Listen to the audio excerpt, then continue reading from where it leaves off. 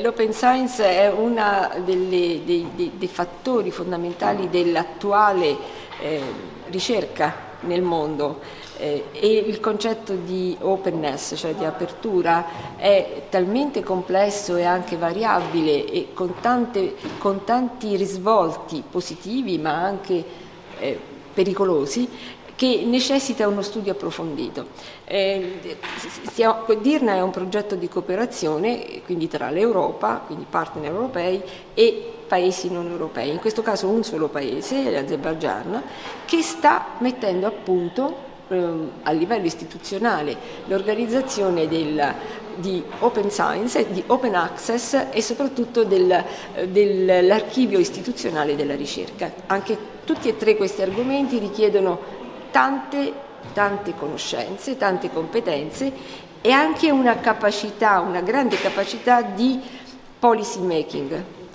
Questo progetto si lega ad un altro progetto in cui sono state coinvolte le nostre bravissime colleghe di, delle, della, delle, biblioteche eh, che eh, hanno attivato in silenzio ma con grande professionalità questi servizi, spesso nemmeno noti a tutti i nostri colleghi, alla comunità scientifica. Quindi eh, un, questo progetto in cui stiamo eh, condividendo con eh, la Turchia, la Finlandia e l'Azerbaijan quello che sappiamo fare e quello che sappiamo, secondo me è stato finora molto proficuo e devo ringraziare proprio il personale,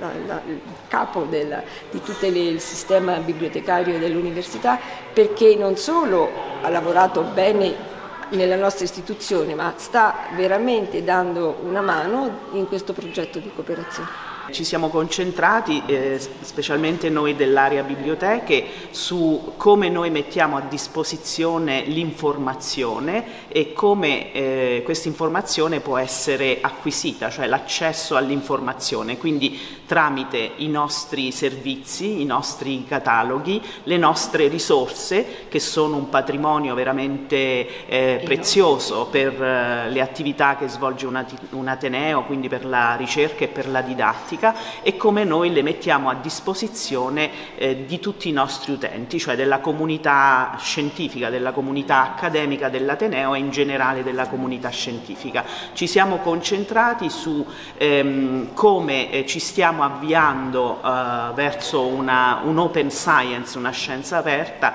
ehm, eh, consentendo di, la condivisione, prima l'accesso e poi la condivisione eh, di quelli che sono i risultati del della ricerca, quindi tramite l'accesso eh, alle nostre risorse e, e, e, grazie anche a questo percorso di trasformazione che è in atto eh, di appunto ehm, accesso e, e, di poter eh, pubblicare i risultati della ricerca, che sono poi i prodotti della ricerca eh, di ogni ricercatore, di ogni studioso, eh, eh, tramite la possibilità di pubblicare questi, eh, questi risultati della ricerca. E noi dell'area biblioteca in questo modo li assistiamo eh, con eh, una sorta di nuova forma di contratto che viene stipulata con gli editori, grazie alla, alla quale loro possono non solo solo accedere alla lettura di questi, eh, diciamo, della letteratura scientifica,